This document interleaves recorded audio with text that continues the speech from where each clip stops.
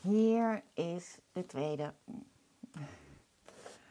Het was een beetje, een beetje een uitdaging om haar ehm, zo te krijgen zoals ze nu is.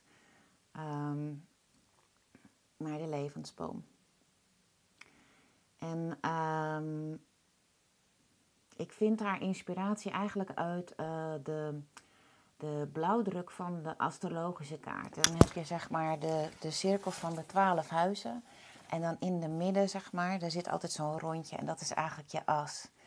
En de onderste zes huizen van je astrologische kaart zijn, zeg maar, is je innerlijke, innerlijke wereld. Zeg maar, wat er in jou afspeelt. Om dan vanaf het zevende huis tot aan het twaalfde huis, is eigenlijk hoe je naar buiten beweegt.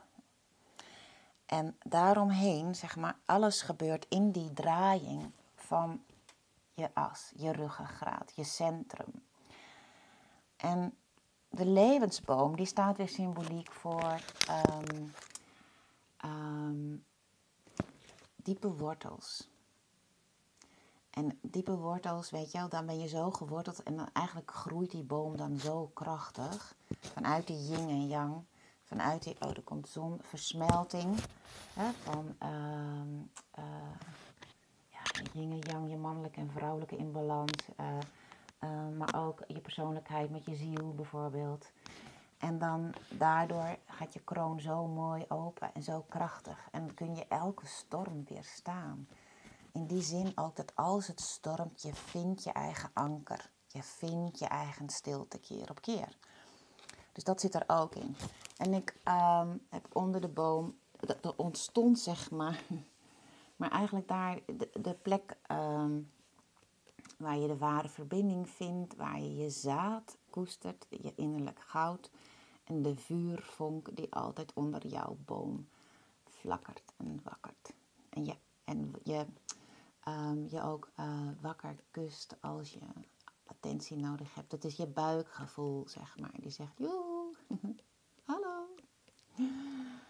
Um, en er stond ook een, uh, een, een uh, ja, soort met vogel die eigenlijk ook uh, waakt en kwaakt als je even uit je afstemming bent, uit je wortels.